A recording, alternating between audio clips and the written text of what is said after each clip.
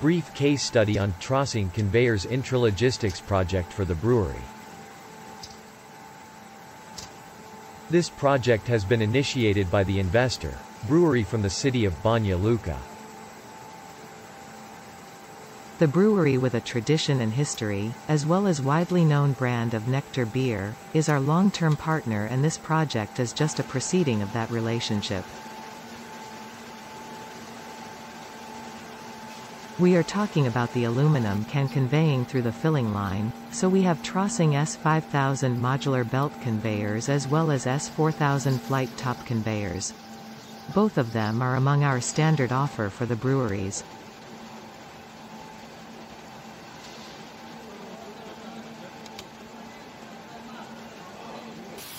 We are capable to take the right measures, tailor-made it and integrate it in just four weeks.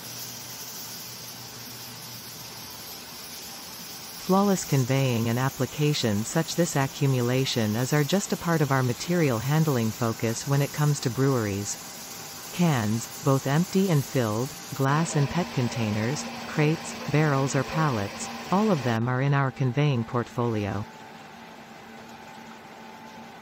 Main module of the system is S4000 tabletop conveyor, consisting of strong and stable construction and supports, as well as top-quality plastic chains and drive elements, in order to provide full efficiency with lowest downtime in industry.